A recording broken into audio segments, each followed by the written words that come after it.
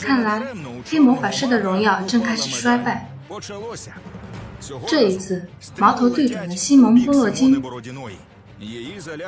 他受到不明分子的恐吓。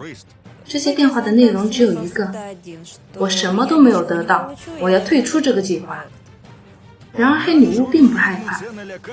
人生中最恐怖的只有死亡，所以这种威胁对我来说是可笑的。白队也抱怨被迫自我防御，在平面内压力由一百六上升至一百八，而这些数字之前并不存在。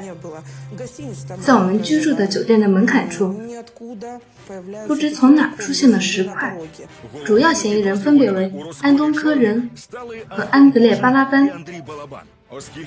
因为只有这两人没有被不明者攻击。我认为，安东就像阿曼娜这样的行为是不会发生的。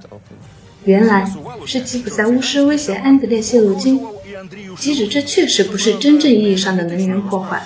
他晃动着手里的刀，并威胁地说：“我可以从耳朵切到嘴巴。”然后他笑了很久，只是不知道这是真的，亦或一个玩笑。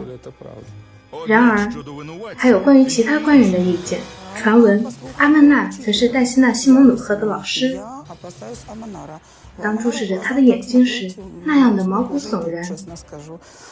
说实话，我是害怕的，也不希望成为这样一个人的敌人。戴安娜·西蒙努赫是吸血鬼女巫。